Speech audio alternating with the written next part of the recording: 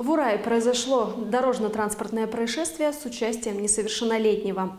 Подробнее об этом случае, а также о том, как не допустить повторения ДТП с участием детей, нам расскажет начальник отдела госавтоинспекции по городу Ураю Руслан Рахманов.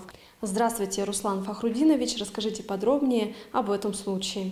У нас на прошлой неделе произошло дорожно-транспортное происшествие с участием несовершеннолетнего ребенка, который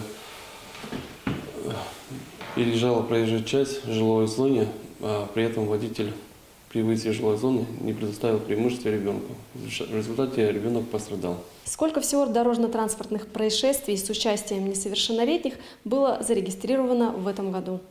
За текущий период 2023 года у нас на территории города произошло 4 дорожно-транспортных происшествия, в которых пострадали пятеро детей. Основная причина дорожно-транспортных происшествий – это не предоставление преимущества детям в жилых зонах, а также на пешеходных переходах. Напомните правила поведения на дорогах для тех, кто управляет велосипедами и самокатами. Во дворах детям можно кататься, конечно же, на самокатах, а также на велосипедах. При этом они должны убедиться, что не создают помех другим участникам дорожного движения. О чем стоит помнить водителям?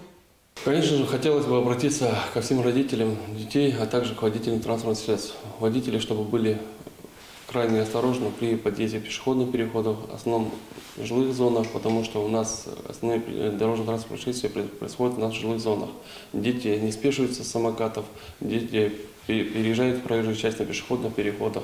Необходимо еще раз э, дома провести с детьми беседу о, том, чтобы правильно переходили проезжие части или спешились с пешеходных переходов. Спасибо, Руслан Фахрудинович. Я напоминаю, что сегодня мы обсуждали профилактику детского дорожно-транспортного травматизма.